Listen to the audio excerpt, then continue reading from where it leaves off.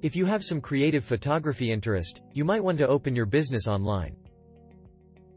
Photography is a popular profession and a hobby that makes it easier for you to turn your creative outlet into a money-making venture. As the camera gears have become more cost-friendly, it brings down the investment low. Showcase your perfect click online with the right digital strategy and reach out to the masses. This will help you to stand out from the flock of a photographer. You do not have to limit yourself to getting a perfect click for the client. But in the later stages of business, you can even start with the photography course for all aspiring photographers.